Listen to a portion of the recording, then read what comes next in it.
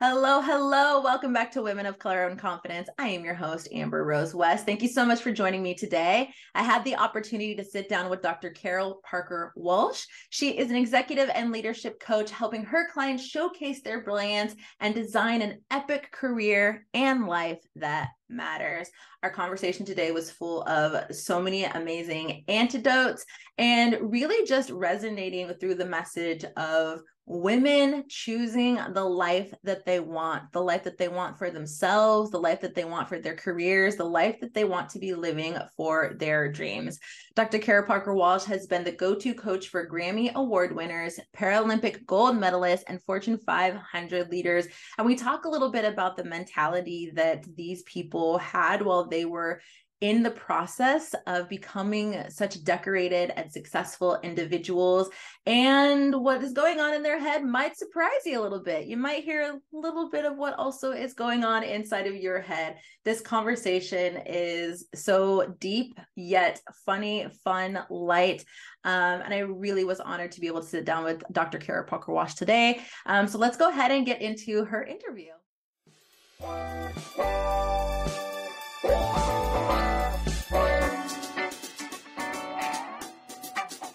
That's awesome. Okay, great. I really love everything about your story. As I was reading through what you were sharing and what you wanted to talk about today, I was really impressed is probably the best word I came oh, across. Oh wow! Thank through. you. Yeah, you seem like such um, a remarkable woman, and that you have such amazing stories to tell. So having you on the show was uh, the second I read your questionnaire I was like, yes, that's happening. I can't wait to talk oh, to Dr. Carol. Um, so I would love for you to just introduce yourself to our listeners and give us an idea of who you are as a person and um, what you do. Yes, well, I was born on a rainy Sunday. No, I was joking.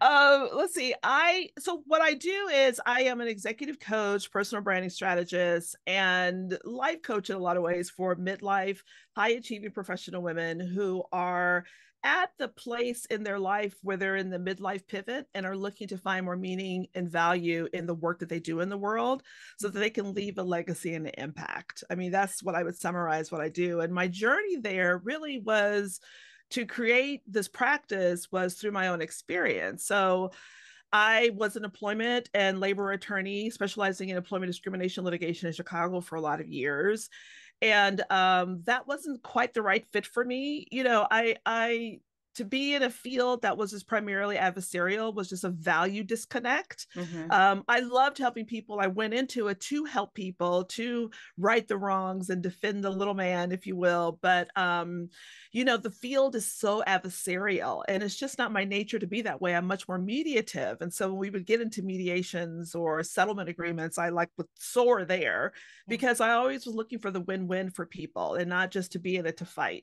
Mm. And so I kind of got burnt out out just on that because I found it just wasn't aligned for me. And then I moved into um, actually, I became a director of HR, helping to really build some HR functions for small companies and um, then went into organizational consulting where i thought well maybe i can go in organizations and help them not be sued so they mm-hmm. can perform better mm-hmm. and um, did a lot of team development executive coaching um, you know work group development processes training new leaders emerging leaders um, and helping them really be the best that they can possibly be and that prompted me to want to go back to school so i got my doctorate in uh, human development and organizational systems and moved into academia and started teaching and you know directing programs and running programs and creating uh, programs around leadership and leadership development and things of that nature.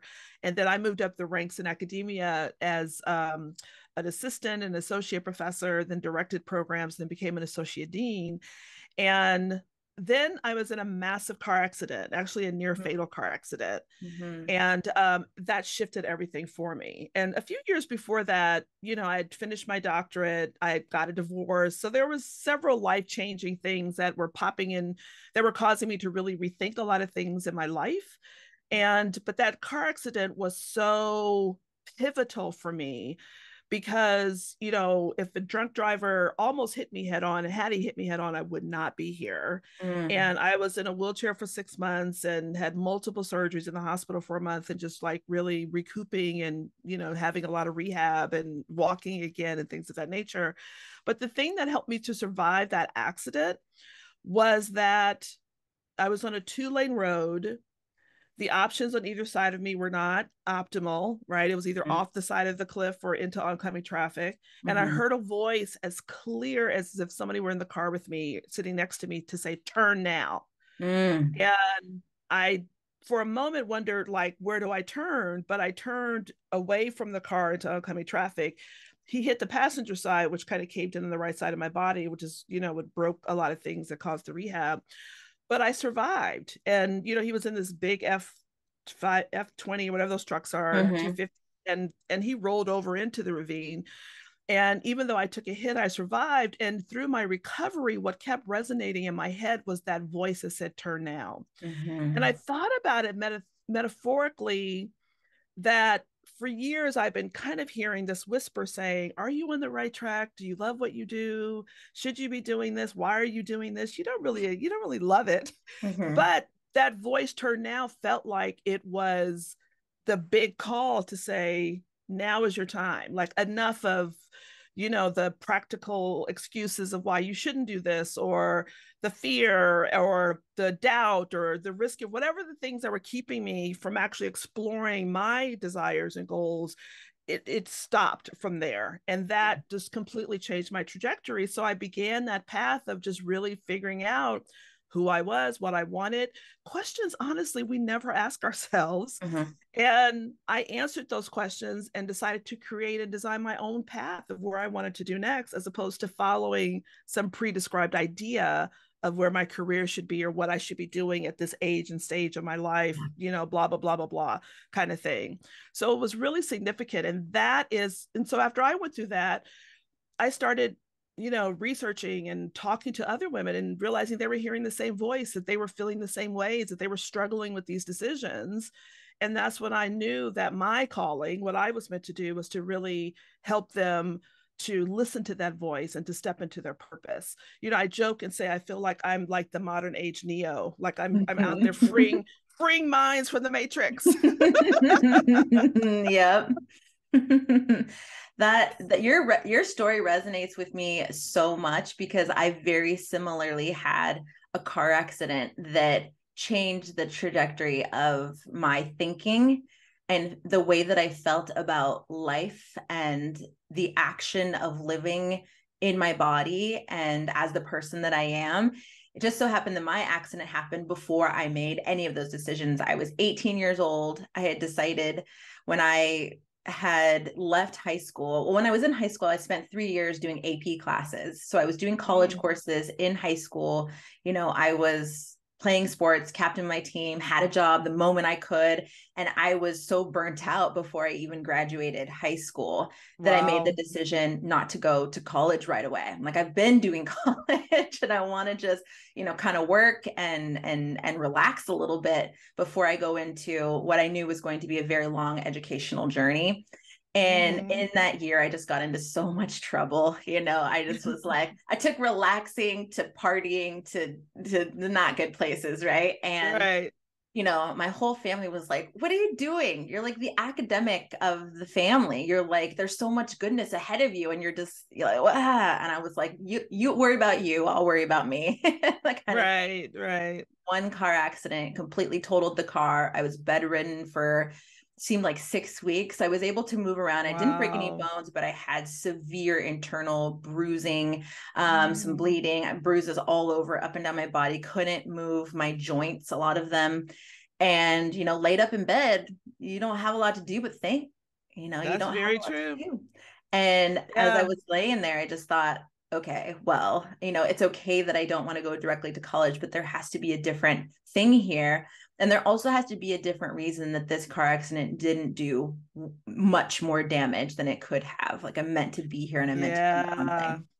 Yeah, and that's exactly how I felt. I felt like, you know, it's weird because I never was angry or mad. I've never like had those type of feelings from the accident it was all joy and gratitude because i felt like i felt like part of that voice was like you're not done mm-hmm. you know it's time for you to step into like what's next you have more work yeah. to do and so i felt the same way and i think it's i think it's fascinating that for women i find i find this now this is not some you know um, statistically proven study but mm-hmm. i do find in conversations that it's interesting to me how for women it takes some type of event mm-hmm. to get us to say you know what i'm going to change directions and move a different way mm-hmm. and I, I i believe that's fascinating for me is because for men they just usually decide mm-hmm. and just go for it but for us you know we struggle so much with just saying, I'm going to course correct, I'm going to change, I'm going to do this instead, it usually does take some type of event mm-hmm. for us to say, okay, now I can. It's like it gives us permission as opposed to us giving ourselves permission, which mm. I think is embedded a lot of confidence and self confidence, which I know we're going to get into. Yeah. Yeah, we are. I really want to talk. I, I love listening to you talk about, you know, work and careers. Uh, one of the things is that um, you help people choose a career by helping them design it and make it like this epic journey for themselves rather than that, uh, I guess I'll do this kind of thing, which is a little bit about a little bit of what you were just talking about. Can you mm-hmm. tell me mm-hmm. like what's the difference between like finding a career or like, you know, being in a career and really designing one that feels like this epic journey? Yeah, that's a great question. For me, the difference is whether or not it's externally driven or intrinsically driven, mm-hmm. right? Mm-hmm. So, so often the way we find our careers is through what other people tell us that we can do, right? You know, we look at outside you know books or we watch other people or other people tell us oh you're so good at this you should do this or oh you mm-hmm. have a proficiency at that why don't you try this um, you know, so we follow these preset kind of ideas or other people's ideas and proposals of what we should do. And that's kind of how we fall into a career. And, and I know that personally because I remember my moving into you know, even in my academic career, moving from teaching to academic leadership, mm-hmm. I didn't really want to do that, but I kept being told by my dean, "Oh, you should, you should, this, you'd be really great at it. You should think about stepping into the next journey." And actually, at the time that I stepped away from it, I was being groomed to like step into a provost position and and thinking about my career trajectory in academia. And I'm thinking, I never wanted to do any of this, but I was guided and directed from very well meaning mentors and very well meaning friends that looking at my experience and background, that this is where I should go. And so that's what I did. And I think most people find themselves in careers that really weren't necessarily designed by themselves. Mm-hmm. The difference when you design a career is that it's all intrinsically driven it's you getting clear about what you want, how you want to work, what are your value systems, and how do you want those to show up in the things that you do? What's mm. the impact you want to create? Who do you want to impact? How do you want to work? What are the ways you want to work? What are the industries that really feel comfortable for you? Like I said earlier, you know, even being an attorney, I realized, well, I'm not adversarial. Like, why am I in a, a profession where all you do is fight all mm-hmm. day? Mm-hmm. Like, mm-hmm. like there's a disconnect there. But I would have stayed had I listened to other external people saying, but you're a lawyer and look how much money you make. It's crazy to walk away from that, right? And that's what happens. And I could have stayed for 20 years miserable because externally it was validated as the right path and the right choice for me, mm-hmm. as opposed to finding something that intrinsically drove me and inspired me and motivated me mm-hmm. to do the things that I want to do and leave the legacy that I want to leave. And so mm-hmm. to me, that's the difference between design finding something like epic that you can really live and enjoy your life through as opposed to just following a path mm-hmm. and, and the thing you know i, I work a lot primarily with women who are in midlife and the thing that is true is that when women start approaching that midlife that those 40s 50s um, they're not so much forward focused on like what can i accomplish and achieve like we are in our 20s and maybe 30s yeah. when we start getting into those late 40s and 50s we're starting to look back and ask ourselves questions like did I live a good life? Did I do what I wanted to do? You know, have I accomplished the things that I wanted to accomplish? Am I leaving the legacy that I want to leave? Like those are just from a human development lifespan um, cycle. Those are the questions that we start to ask ourselves. Mm-hmm. And what I want more than anything is for women not to live a life of regret. Yes. And not to be at a place thinking, I wish if only I should have, why didn't I? As opposed to, I did the damn thing. Yeah. I, did that, I did that thing. I took that risk. I went after what I wanted, even if it shifts and change and and that's a whole nother mythology is yeah. that there's no one job there's no one thing or one career it's really understanding the gifts that you decide to bring to the table in the ways that you decide to bring them at any point in time in your career mm-hmm. so we have to let go of this mythology that there's this one path this one way and that you have no choice in that direction and in that choice and design yeah, that's definitely an old story. And I did hear that a lot when I was a kid. Um, and I know that it's kind of a, a, a myth that's now kind of being um it's fizzling out which is you know you you find the place you work there your loyalty for 40 50 years and then you know yes. you retire and then you're tra- that whole story is like we don't live in that world anymore. No we don't and we haven't we haven't lived in it for a long time but like some women who are old school come from that it's really hard to shake that oh yeah. framework from their mind to say that no you actually don't have to follow that you can do something different. Yeah. And and when you're also you know usually at midlife now you you have a mortgage you have kids yeah. tuitions and you have aging parents so you're literally in the middle yeah. and you're kind of torn between you know do i spend time really focusing on me and mm-hmm. prioritizing me or do i spend the time on the ones coming after me and taking care of the ones who you know brought me forward yeah. and that's a big dilemma which is why a lot of times women also just tend to just give in and settle and just ride the wave because yeah. they feel like they don't have permission or that it's a selfish um, guilty pleasure mm-hmm. to focus on themselves and what they want which yeah. is again such a such a myth and such a, a horrible tragedy to me yeah.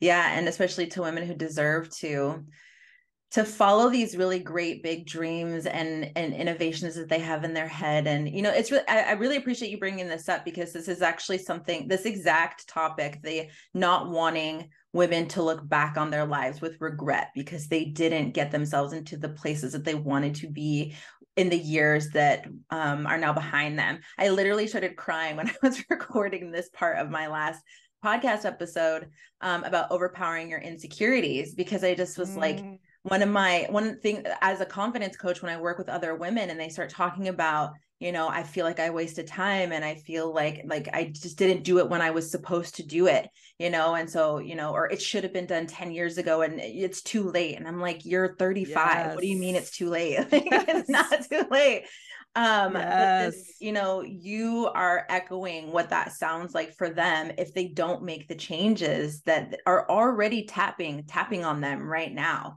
you know we all still have time um, as long as we still have feet on the planet as long as we're still you know here in our vessel and we have the tapping in our heart and the tapping that's in our heads that's saying do this do this follow this. There's there's something there that's going to excite you or bring you joy or fulfill you in some way. As long as you have that there's always time and the only thing that has to shift and change is your mentality around it and the emotions that you put into whether or not you follow it or you keep denying it.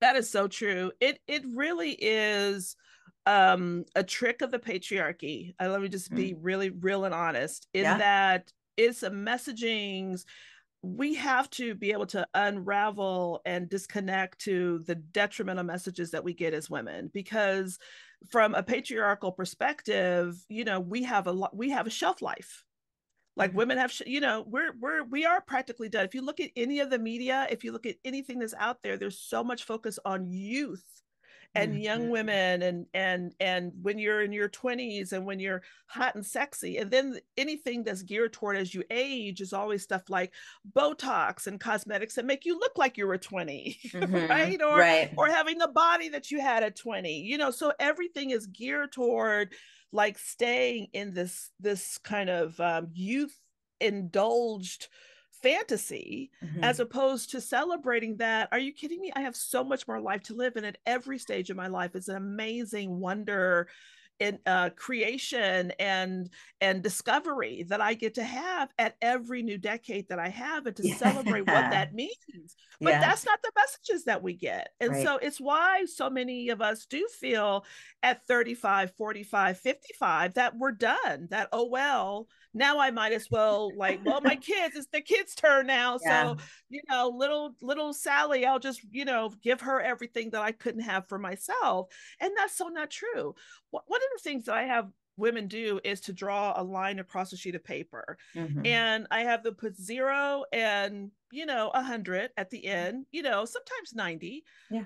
And then I have them plot where is your age on that line?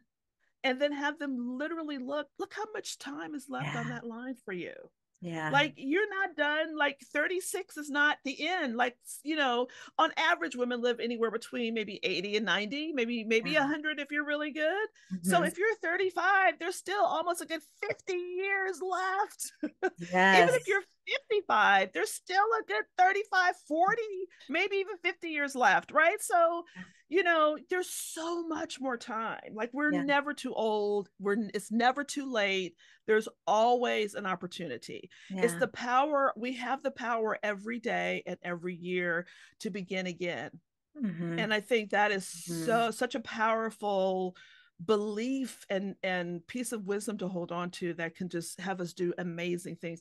In a lot of ways i feel like i didn't come alive till i was 50 i started my business at 50 i you know have been on covers of magazines. I did a tedx talk. like my life came alive at 50 in a lot of ways yeah. because i feel like i'd been on autopilot and just following that preset path for so long.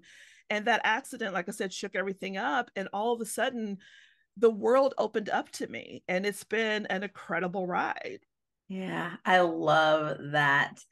And it's really interesting to think about that. I like that visualization of the timeline, you know, that line on the piece of paper, because it really does, you know, and I I understand this because I studied like marketing and persuasion when I was in college, but it's such a marketing tool. Like get it while it lasts, it's right now. Yes. You only have so much time to enjoy this. Soon you're going to be too old to enjoy it. like that whole, like you're just constantly like, I, o- I only have so much time. I only have yes. so much time. And you get into that space. Yes. And it really is when you stop. There was, you know, I didn't watch TV. And it's only for, like, for women. It's only for women. I know. It's for men, it's like life is boundless and endless all the time. Gray men just like riding horses and living their best life. Yeah. Like, oh, but for women, no. It's no.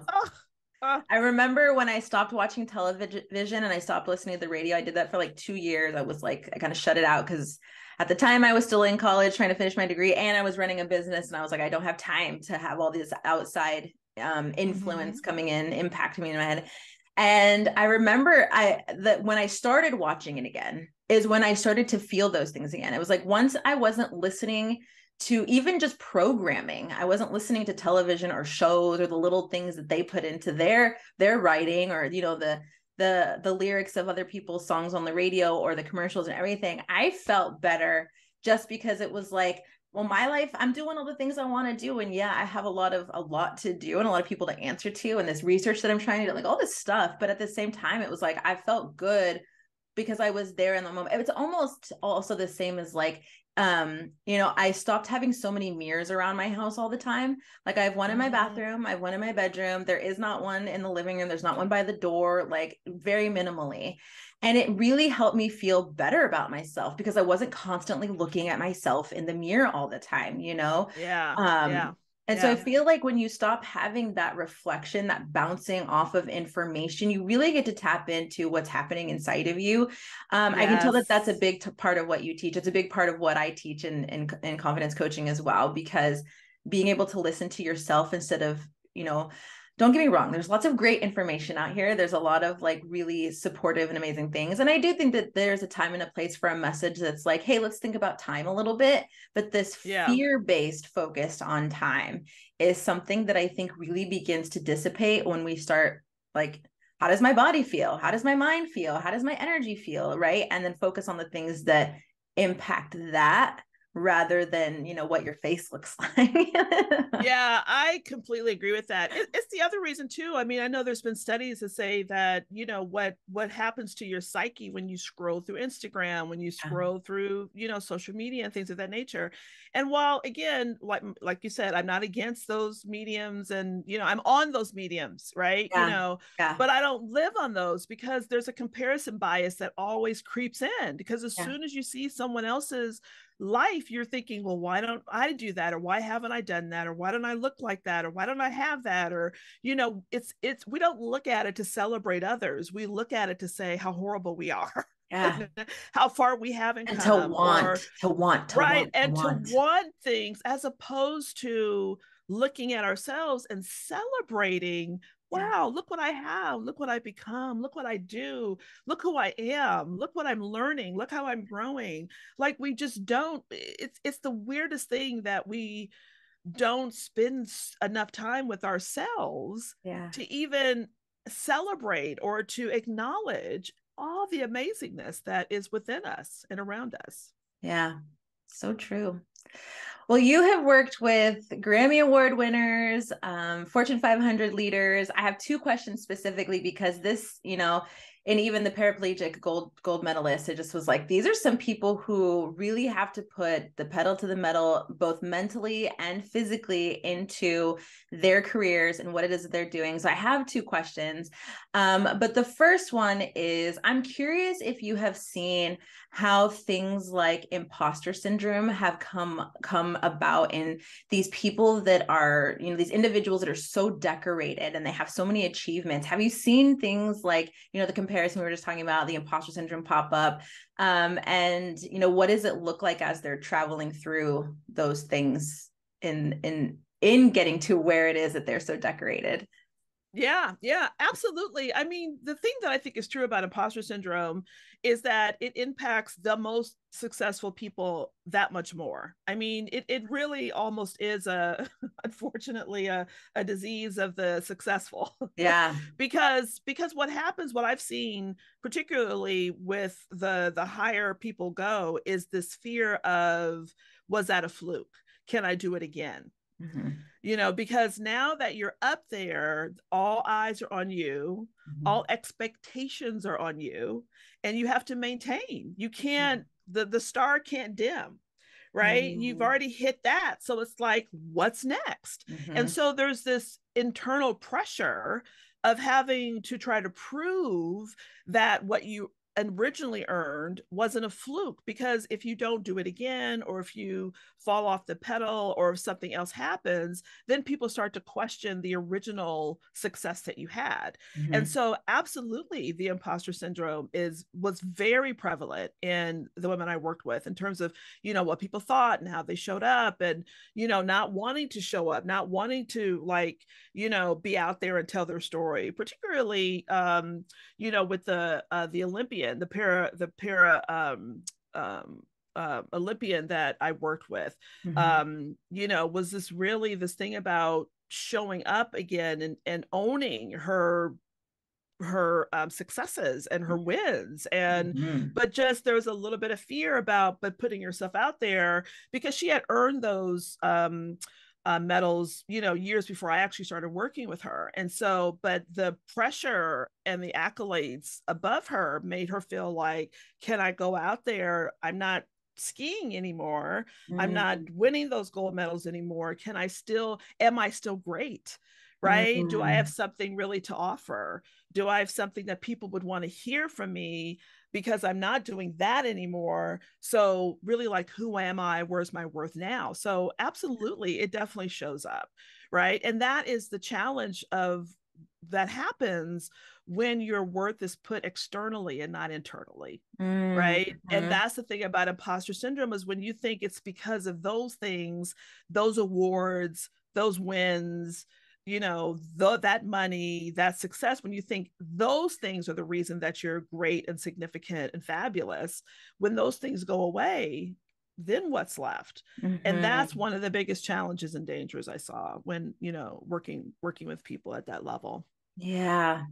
Yeah it's interesting too i feel like um imposter syndrome tends to be this quest for belonging in whatever place you have then found yourself in right mm-hmm. like i mm-hmm. have these medals but is it you know can can i be accepted do i belong going out there you know wearing my medals and talking to these people um, and that's truly what i believe imposter syndrome has turned into um, you know i did a lot of research on imposter syndrome from the 70s uh, with ames and, ames and kane um, and just really understanding that before it was really like you need to be better you know and then you get better and then you're like am I supposed to be here? I didn't realize that I had gotten so good that I, I, can now stand in this room. And the more I start working with other women who have imposter syndrome now, I'm really understanding how much there is this correlation between feeling like an imposter and then trying to feel accepted and belonging in this new place and that there's this um, influence of the environment that's happening that makes you feel like you mm-hmm. don't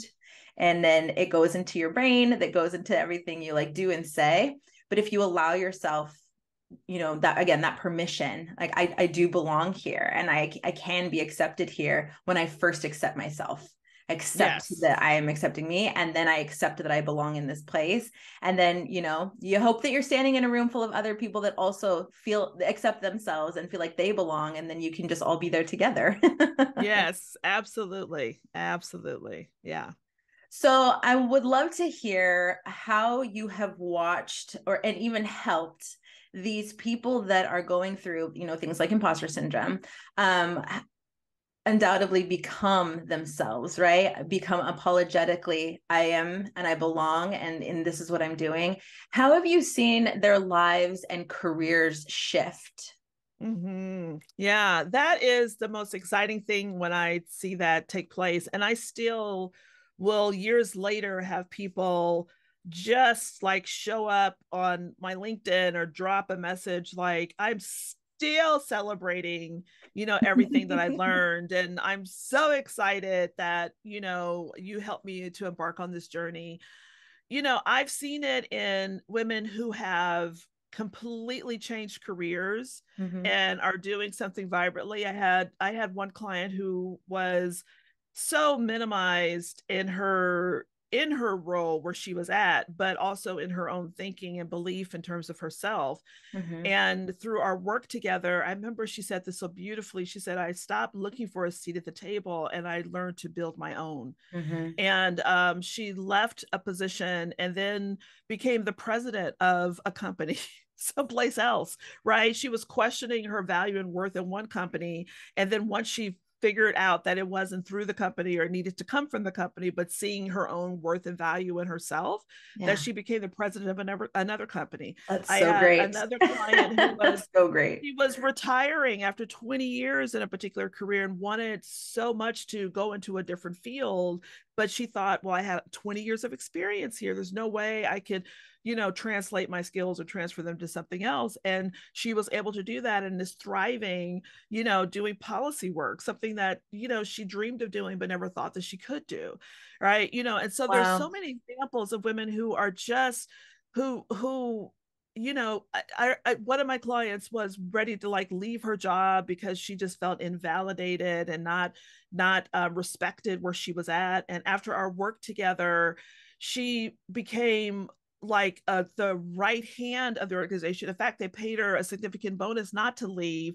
They were mm. asking her for her input because she just showed up differently. She yeah. showed up with so much more confidence and knowing what she brought to the table and knowing what she had to offer made a complete 180 in terms of how she was there. And so she went yeah. from wanting to leave to like basically owning the place wow. because she owned her own significance and because she owned that, they were able to see and validate that and she was able to you know create a work situation that was more conducive for the way that she wanted to live for herself and her family so there's like stories after stories of women who just once they start to see themselves it's, it's a process that i work through and the first thing that we do is appraise i call it appraise and mm-hmm. it's kind of like what you do when you go to a jeweler and you have this diamond and mm-hmm. you want to know what it's worth right and yeah. they look at all the facets and everything around that's what i help women do that the first thing i want you to do is to see the beauty all the facets of the amazingness that you bring to the table. Like you have yeah. to see that and appraise the worth and the value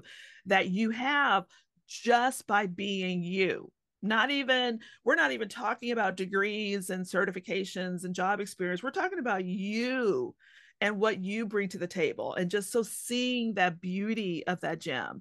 And then we go through just amplifying it. How do we show up in understanding that fabulousness? And then how do we create a plan an action plan to just activate and get out there and go after courageously the, for the things that you want to do? And so we work through that process together and it's just amazing to watch when i you know the women go through it. Yes that is absolutely amazing and i love the focusing on them aspect of this. This is, you know, when I ask people who they are, you know, this is actually one of the first steps in my coaching program, too. Hey, who are you? And they go, I'm a mom, I'm a lawyer, I like to run. And I'm like, okay, those are all great titles, but like, how does that make you who yes. you are? Like, tell me a little yes. bit more about, you know, the value of being a runner, the, the parts of being a mom that have changed you as a person not that you're just someone's mom like there's a part of being a mom that has changed you. So what is that? What is that? Right. And to see you know it's so interesting because i i think that this is also a part of that shifting away from the the patriarchal um, influences of women and what they're supposed to be doing all the time yes. and how they're supposed to look at work and fulfillment um, asking women like who are you as a person if you were to strip away all the titles you know like you're not a dentist you're someone that works on teeth because like tell me like what that exactly. is about for you and it's just this whole light bulb moment for them when they realize they've been living for their titles rather than mm-hmm. living for themselves and i just love same as you love that process of them going I've never been asked this before. I don't even know. Like, this is a thought process I've never gone through before. I'm like, what's up? yes, that is. Oh, that is so true. Because you know, I mean, part of my doctoral research was um, understanding identity development from a gender and racial intersection, right? And mm-hmm. so you That's are awesome, so right. by the way. Well, but but but what you're saying is so true is that we create these identities, these professional identities or these other identities because we've never been given the opportunity or never thought we had the right to define ourselves for ourselves as mm-hmm. opposed to through what it is that we do. And mm-hmm. our society is very driven toward that, right? Because the first thing you do when you meet someone is say, "Hey, so give me your name and what do you do?" Mm-hmm. That's the first thing we ask them is, "What do you do?" We don't ask them who they are. Mm-hmm. You know, what do you, what are you passionate about? What excites you? Mm-hmm. What gets you up in the morning? Like nobody asks those questions. So we don't ask ourselves those questions because right. we think they're insignificant or unnecessary. And so we pour everything into developing and perfectly curating and crafting these external identities, so much so that what I have found working with women in midlife is that they have no clue, and I'm sure even beyond, but they have no clue who they are when I ask the question, Who are you? Or even what do you want to do? Like they don't like what do you mean? What do I want to do? I, I should be promoted I should to the be. next level. I Say, right. Like, like I should response. Be, exactly. This is what I should be doing or where I should be in my career. But when I ask, what do you want to do? It's so insignificant. They think it's not even important or they have no idea because they've never really asked themselves the question or gone into that level of thought process to figure it out or been given the opportunity to you know and that's that is one thing that i i talk about a lot when it comes to confidence is like nobody it's not a subject in school. It's not something they taught. In fact actively everywhere we go everything we look at is in teaching us how to not have confidence how to be completely separated from authenticity from feeling ourselves from wanting to be confident just in who we are without all of the bells whistles outfits hairstyles you know, titles, mm-hmm. that kind of thing. Um, and th- that was one thing that when I was first started working that I realized that uh, women are just like, you can do that. How do you how do you learn how to do that? And I'm like, oh yeah, nobody taught us. They didn't want us right. to know. right. well, right. Now we know. Now we yes. know. I'm curious to hear how you see, you know, this work evolving into the future? Like, what is the future of this work and how is it going to be continuing to evolve? Yeah, that's a great question. So, th- there's a couple things and and I love what you were talking about in terms of you know confidence and finding your own confidence because you know for me I think that confidence is a like a past focus right? It's the things that you've done that now you feel confident in yeah. but self-confidence is so much more. It really is this belief in what's possible for you mm-hmm. and a commitment to feel all the feelings. Yeah. To like go to like really lean into every fear doubt question anxiety provoking thing yeah. and still emerging and moving through in terms of stepping into what you want to step into next. Yeah. And so when I think about the future of like this work and even the future of work, I see it very human centric focused. I see us shifting into an acknowledgement that we are human beings, that we have feelings, that we have purpose, that we have passion and goals. I mean, I've even seen organizations when they're hiring people to ask the questions like, What is your purpose? To start asking these questions of people who are applying because they want to see what their goals and ambitions are to see if they're aligned with what the organization can and wants to do for them.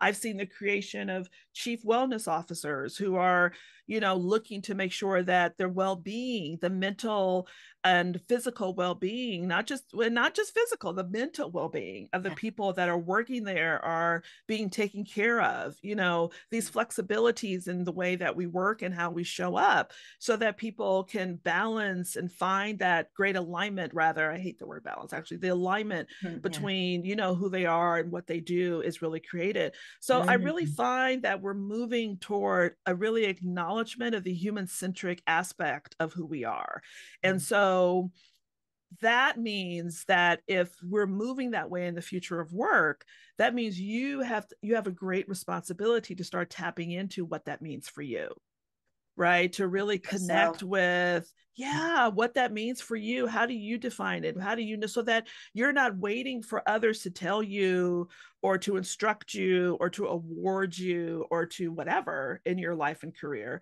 but that you're the director and the driver of it, that you know already. And so you're sharing that with other people so that they can partner with you and to support your vision and dream. So we have to start with ourselves to get clear on what that means so that when we step into places of work or step into opportunities or create our own economy and business, that yeah. we're doing it in a way that really connects to the human piece of who we are the the what makes us the human experience our humanity because i think that has been what has been missing for so long and we are finding finally finding our way to really understand that that is the center of everything mm-hmm. and so that's that's our work and that's what we all need to be embracing and trying to figure out moving forward yeah.